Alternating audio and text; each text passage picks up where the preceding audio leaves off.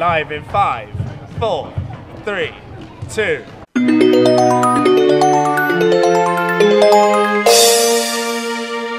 Hello everyone, day five of Andy Cinderella Stories and look, we have just been shown the Cinderella show gauze for the first time.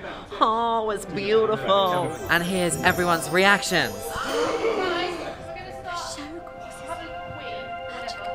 So, not only have we been working very hard today in rehearsals, but our crew, who you might be able to see behind me, have been working really, really hard in uh, the fit up for our set.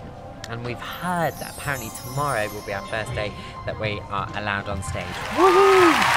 It's the end of day five of Cinderella rehearsals, and we're going to catch up with the cast, or some of them, very quickly and find out how they are feeling. Post birthday. It's been a hard one today. Tiring. Very tired. Oh, princess. Feeling fantastic.